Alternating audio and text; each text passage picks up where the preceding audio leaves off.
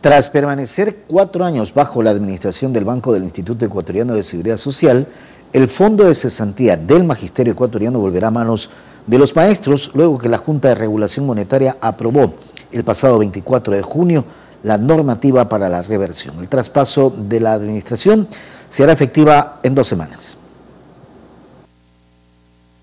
Son los docentes afiliados al Fondo de Cesantía del Magisterio Ecuatoriano quienes se reunieron en Guayaquil como muestra de beneplácito por la resolución de la Junta de Regulación Monetaria que el pasado 24 de junio aprobó la normativa para la reversión del fondo, uno de los 59 fondos privados que fueron incautados y entregada su administración al Banco del IES. A los 59 se los asaltó 1.200 millones de dólares, 200 mil afiliados.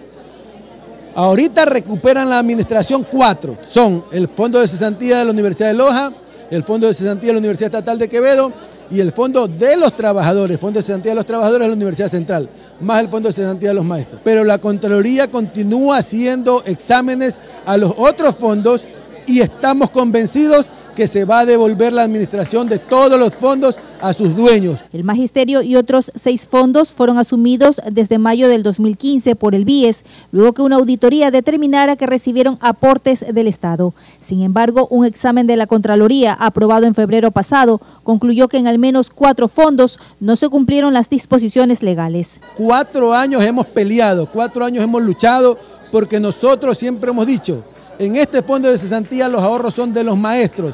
Ningún gobierno ha aportado nada para construir este fondo de cesantía. Según los docentes, hasta el momento de la incautación tenían 405 millones de dólares. Ahora con el acta de entrega-recepción que se realizará en 15 días, confirmarán el monto existente. 15 días donde la administración del BIES, con la que reconocemos nosotros, la administración del señor Roberto Miranda, nos está dando toda la apertura para poder cumplirla.